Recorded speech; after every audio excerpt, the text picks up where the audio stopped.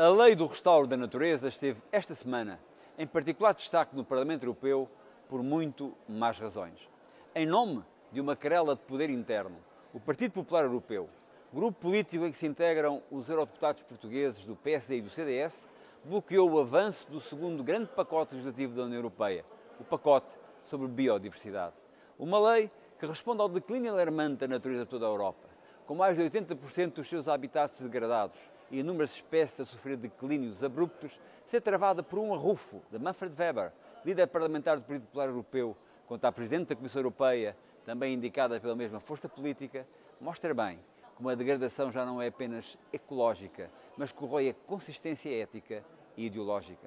Não tenho por hábito julgar os outros, mas surpreende-me a forma como os deputados do maior grupo político europeu se deixaram instrumentalizar. A lei do restauro da natureza pode e deve ser discutida e melhorada, mas usá-la como arma de arremesso para ganhos internos é brincar com a vida, é brincar com o nosso futuro comum.